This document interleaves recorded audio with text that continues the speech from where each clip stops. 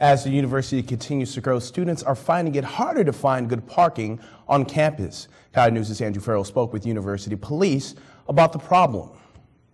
The availability of parking spots on campus has become a bigger issue in recent years in light of an increasing student body and construction projects that have eliminated previous parking spaces. In addition, the university has increased its parking lot patrols in order to keep a watchful eye on parking violators.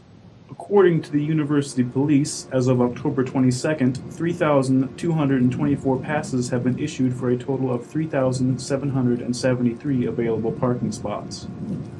But many of those spots aren't located in high traffic areas, and it's a common complaint from students that parking lots are too full and that spaces are too hard to come by. There's been some issues this year with finding parking spots. Um, although, like as the year goes on, you kind of figure things out. You know when works better and when doesn't work better. And if you aren't planning ahead, then you're probably not going to find a parking spot. For Coyote News, I'm Andrew Farrell. Students can address their parking issues with university police in the Davidson building.